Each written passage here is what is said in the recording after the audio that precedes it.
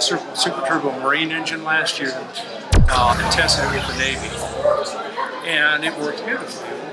What we're looking for was more low-end power, low engine speed power to push boat up on top and really take off. Tested with the Navy down at Coronado. They love it. So I met Mike up here last year. Mike and I have known each other for a number of years, Mike Ryan. And kind of looked at what he was running, and he had a compound turbo set up, a lot of diesel smoke in the air. And I, I just kind of looked at that and I went, that's horsepower. That's smoke. It's power that you didn't realize. So what? Why is there smoke? There's not enough air going into the engine. Once you got it up to speed, the smoke would disappear because the turbos would, would come up to speed. But it was kind of a tractor pull turbo setup on a Pikes Peak truck. Not a good match because tractor pull setups don't respond. The engines have to get wound up. Well, we have 156 turns. You don't have time to wind up off of every turn. So I suggested to Mike, why don't we do a super turbo on your Detroit diesel? So that's what we've done. Uh, it ran for the first time last Thursday, and uh, we've got a number of other systems because we're also injecting a methanol water mix to help cool the air and give a little more top end power, about 400 horsepower more.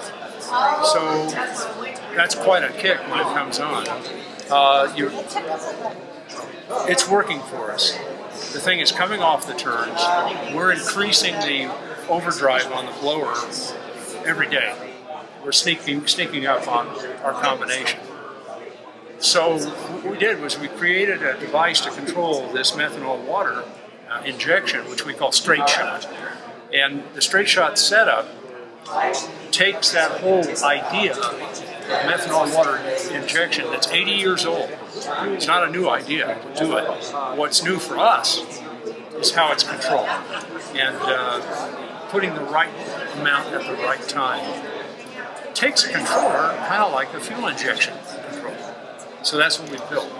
So it's a methanol injection over the same system, there's actually two of those systems injecting, we inject before the supercharger to cool the air while it's being compressed, after the supercharger to cool the air some more before it goes into the turbocharger compressor. It comes out of that, goes to the intercooler. We have five nozzles that fog and chill the intercooler to bring down the air temperature going into the engine. Is that water based? It's that's water only there. Uh, and then in the engine we have six nozzles, one for each cylinder, with methanol water. Uh, additionally, we have one more system, and we're spraying into the hat of the disc brake rotor. And the rotors have air channels inside of them what happens is we mist into there, and it's like a fan. It's pumping air through. So we just moisten the air a little, and it brings down the brake temperature. He's already noticing better braking, so it allows him to get into the turns deeper before he slows down. It brings up your average speed for 12.4 miles. So, you know, we're it's so new, but we're gaining every day. And uh, tomorrow will be we're running the middle section tomorrow. Uh, I think we'll know quite a bit. So what what's the total horsepower we're talking here? Uh, when or, water methanol is on, 2,800, 2,400 without. And torque about what's the oh, torque? the torque, it's making its power peak at 2,700 RPM. So torque is nominally 5,000 foot-pounds. It's torquey. to say yeah. the least. Yeah, so torquey yeah. that any limited slip uh, differential has been tried on the truck has been killed. So we've had to do a spool. You told me you're you like to kill transmissions. I don't like to kill transmissions. No, that's what happens. It's, it's my problem. right. Yeah.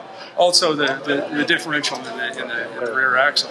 So he's got a he's running a spool. Makes it a little tougher to turn, but uh, all those systems are brand new for us, and uh, So this is a test. Yeah, this is a test, and and, and, and then we'll, we've already done a, a BMW, just a stock twin turbo BMW, where we upped the rear wheel horsepower 44%. What kind of BMW? Like a Five, SUV? Yeah, like a 5 Series. Okay. Yeah. Oh, a sedan. With a 3 liter twin turbo Okay. gasoline engine. Okay. Okay. Uh, so we're going to do a number of different gasoline turbo programs.